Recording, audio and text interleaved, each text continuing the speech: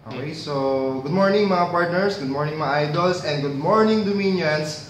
Uh, this is Arwin Panaligan, ano, uh, isa sa mga founder ng uh, Domino Effect. Okay, so itong video na to ay para bigyan kayo ng updates ano, regarding dun sa ating uh, company one which is si Dream Big Time. Okay, so ngayon, ang development natin ngayon, ang updates natin ngayon, good news kasi uh, ongoing yung ating new homepage, ano, para sa mas ikagaganda ng sistema natin. So, bibigyan namin kayo ng pasilip, okay? Konting idea para magkaroon kayo ng idea kung ano nga ba yung magiging new website natin para sa Dream Big Time. Okay, so ngayon, ito yon. Alright.